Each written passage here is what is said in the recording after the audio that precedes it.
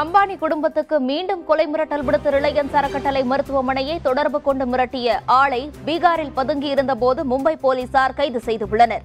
இந்தியாவின் பெரும் பணக்காரர்களுள் ஒருவரும் ரிலையன்ஸ் மற்றும் ரிலையன்ஸ் குடும்பத்தின் இயக்குநருமான முகேஷ் அம்பானிக்கும் அவரது குடும்பத்தினருக்கும் அவ்வப்போது நிகழ்வுலக தாதாக்கள் கொலை மிரட்டல் விடுப்பது வழக்கம். கடந்த ஆகஸ்ட் பதினைந்தாம் நாள் மும்பையில் உள்ள ரிலையன்ஸ் அறக்கட்டளை மருத்துவமனையை தொடர்பு கொண்ட அடையாளம் தெரியாத ஆட்கள் முகேஷ் அம்பானியையும் அவரது குடும்பத்தினரையும் மூன்று மணி நேரத்துக்குள் கொலை செய்ய போவதாக கூறி இணைப்பை துண்டித்தனர். நாட்டின் விடுதலை நாளன்று விடுக்கப்பட்ட இந்த மிரட்டலை தொடர்ந்து முகேஷ் அம்பானிக்கும் அவரது குடும்பத்தினருக்கும் பாதுகாப்பு பலத்தப்படுத்தப்பட்டது.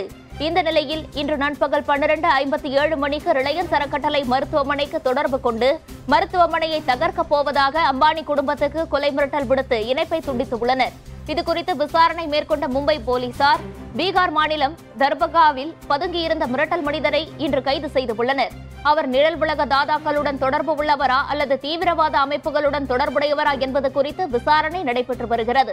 உலக பணக்காரர்கள் பட்டியலில் பத்தாவது இடத்தில் உள்ள முகேஷ் அம்பானிக்கு ஐந்து நாட்களுக்கு முன்புதான் நாட்டின் உச்சபட்ச பாதுகாப்பான இசட் பிளஸ் பாதுகாப்பு வழங்கப்பட்டது.